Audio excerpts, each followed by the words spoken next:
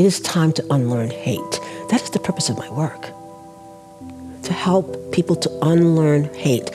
When you begin to hear the stories, you can relate to them because you're a human being.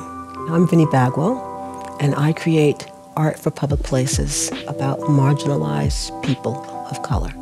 I discovered sculpting, and it was like magic, and the rest is kind of history. It's not enough to make something that's pretty. I want it to speak. I want it to speak volumes. I came up with a technique of creating a central sculpture and then I use bas relief to extend the narrative. It also makes you engage the piece. You have to walk around it and look for what is she trying to say? Where's the story? What does that mean? I looked around my community and all I saw was dead presidents and war heroes. I didn't see any artwork about people of color. I, I didn't see any artwork about women. I didn't see any artists. I didn't see anything.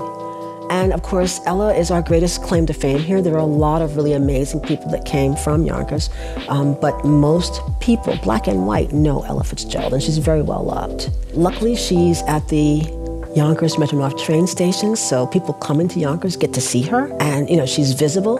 And amazingly, it turned out to be the first sculpture of a contemporary African American woman to be commissioned by a municipality. There were no sculptures of black women in the United States until I made that sculpture, which sounds crazy, but it was true. I wanted a urban heritage sculpture garden. I wanted a rain garden. The enslaved Africans' rain garden should be on the trail. It's, it's a major story. Thank you, George Latimer. It was a no-brainer for him to say, yes, let me help you finish this up. Westchester County made it possible to finish. They paid for construction. So the enslaved African's rain garden became Isati, an iconic woman carrying a bucket on her head because African women do that. Temple the Boatman, an extraordinary story because these were the most revered enslaved Africans. They weren't even treated like they were enslaved because they knew how to navigate the ocean. Bibi, the godmother, the grandmother, the elder woman.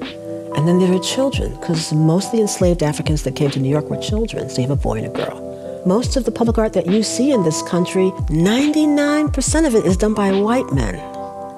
Less than 5% is done by women. And less than all that is done by black people. That has to change because we're trying to balance the narrative. And so the enslaved African rain garden was designed to do that for Yonkers, for Westchester, for New York State. I'm trying to humanize people of color, trying to humanize people who were enslaved. They're not slaves. You don't call these people slaves.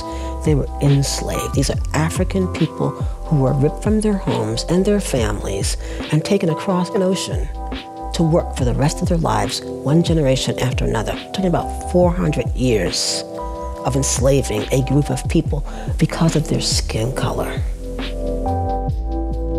The enslaved African's rain garden is taking its place in the link, but there are other links that will be added. There are more stories that are going to be told. So that trail is going to get longer, and I'm proud and I'm excited. I'm serving a really good purpose. I'm representing my race.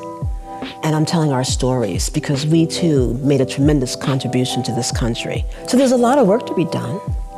Um, and I'm just really happy to be in a position to do it.